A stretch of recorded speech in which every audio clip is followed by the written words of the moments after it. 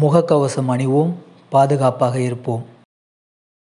எல்லாருக்கும் வணக்கம். நான் நடிகர் மகேந்திரன் பேசுகிறேன் இந்த கொரோனா டைமில் தேவையில்லாமல் வெளில போகாதீங்க. அப்படி போகணும்னு நினச்சிங்கன்னா மாஸ்க்கை போட்டு போங்க. கண்டிப்பாக எல்லாரும் தடுப்பூசி போட்டுங்க சோசியல் டிஸ்டன்ஸை மெயின்டைன் பண்ணுங்கள் ஸ்டே ஹோம் ஸ்டே சேஃப் வணக்கம்.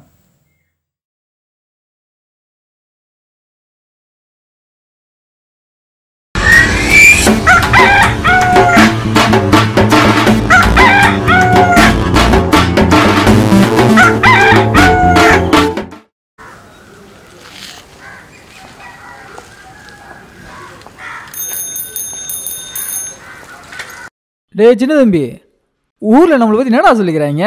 கொரோனாக்கு டப்புடு கொடூரமான ஆளுன்னு சொல்லிக்கிறாங்கண்ணே. ரியல்லி ரியலி இன்னும் பயமா இருக்கணும் பயமா இருக்கு டேய் பக்கத்தில் இருக்க நீயே இப்படி பயப்படுறிய? பத்து அடி தாண்டி இருக்க பயப்பட மாட்டானா? அதான் நம்மளை பார்த்து ஊரே பயப்படுதா? அது சரி. அண்ணா உங்களை ஏன்னா ஊருக்குள்ள கொரோனா கோபுரான்னு சொல்லிக்கிறாங்க? டேய் கொரோனா முதல் அலையில் அரசாங்கம் சொன்ன பாதுகாப்பு வழிமுறையை கரெக்டாக ஃபாலோ பண்ணி மொட்டுத்தனமாக நீந்தி முக்கியமான ஆள் இல்லை. முதல் ஆளா? நின்னோம்ல அது மட்டுமா?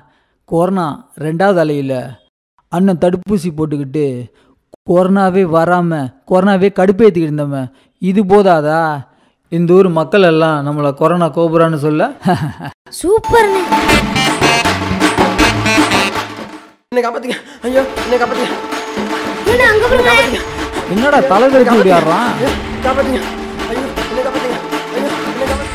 மாப்பிள மாப்பிள காப்பாத்துங்க மாப்பிள காப்பாத்துங்க மாப்பிள.